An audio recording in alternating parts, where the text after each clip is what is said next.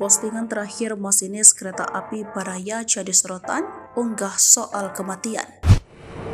Masinis kereta api Bandung Raya jurusan Padalarang Cicalengka, Julian Dwi Setiono, dilaporkan menjadi korban dalam peristiwa tabrakan kereta api Turangga dan kereta api Baraya di Kampung Babakan, Desa Cikuya, Kecamatan Cicalengka, Kabupaten Bandung, Jawa Barat. Postingan terakhir masinis Julian Dwi Setiono pun langsung menjadi sorotan netizen. Dilihat dari akun Instagramnya, Julian Dwi Setiono terakhir membuat postingan pada tanggal 20 Desember 2023. Dalam postingan berisi ceramah tentang kematian, dan banyak orang yang hidup jasadnya tapi mati hatinya. Para ulama mengatakan orang yang paling buruk adalah orang yang mati hatinya sebelum mati fisiknya. Begitulah potongan dari video postingan terakhir masinis korban tabrakan KA Turangga dan KA Bandung Raya di Cicalengka seperti dilansir Tribun Jatim via penelusuran tribunjusbogor.com. Isi postingan Julian Dwi Setiono memang didominasi video tentang ceramah keagamaan. Ia juga pernah memposting dua anak dan istrinya.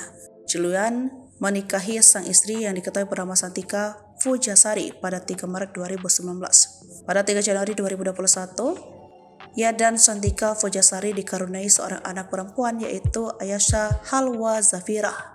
Di akun lainnya, Julian Dwi Setiono menulis saat ini tinggal di Cimahi, Bandung.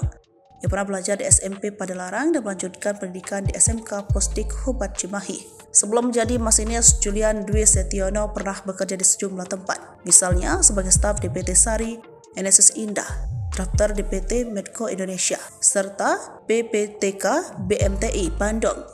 Hingga akhirnya sekitar 2014, ia bergabung dengan PT Kereta Api Indonesia dan menjadi Dik Sarwira. Dik Sarwira sendiri adalah kegiatan yang merupakan syarat wajib ketika diterima dan akan diangkat menjadi pegawai PT KAI.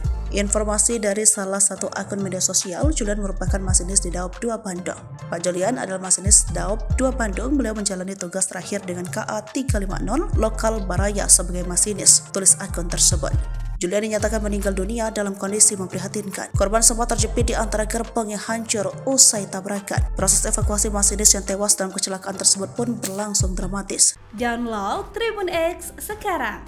Menghadirkan lokal menjadi Indonesia.